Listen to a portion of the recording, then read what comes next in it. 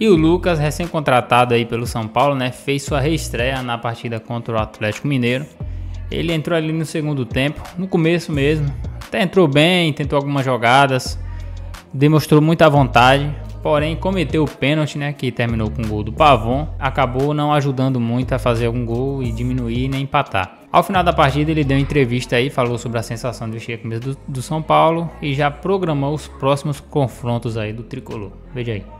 É, Lucas, é claro que pelo resultado não era o que você queria para sua reestreia, mas a torcida te aplaudiu muito, a torcida incentivou muito, sim, mais de 50 mil torcedores que vieram especialmente, inclusive, para ver você na sua reestreia. E como é que está a cabeça do São Paulo agora nesse momento, pensando principalmente nas decisões futuras, né, de Copa Sul-Americana e Copa do Brasil?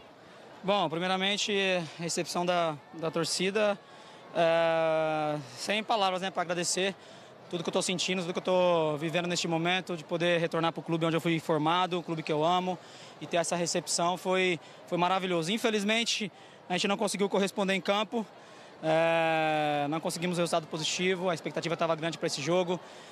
É, lutamos, tentamos bastante, é, mas infelizmente não deu. Agora é descansar, preparar que a gente tem mais, tem mais um jogo muito importante no meio da semana, uma decisão.